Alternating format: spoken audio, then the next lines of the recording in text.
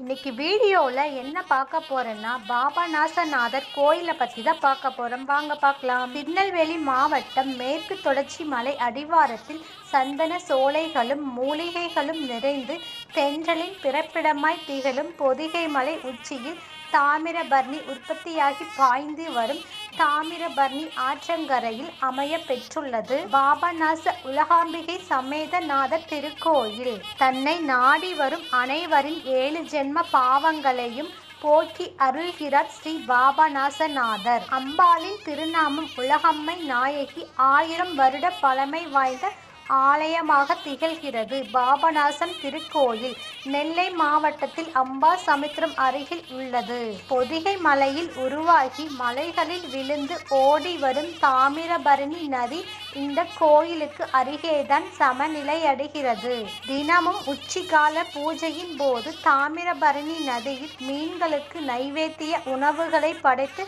பூஜைகள் செய்யப்படுகின்றன. அம்பாள் உலகம்மை சந்நிதி முன்பு ஒரு உரல் இருக்கிறது.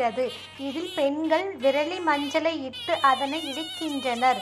இந்த மஞ்சளாலேயே அம்பாளுக்கு அபிஷேகங்கள் நடைபெறுகின்றன.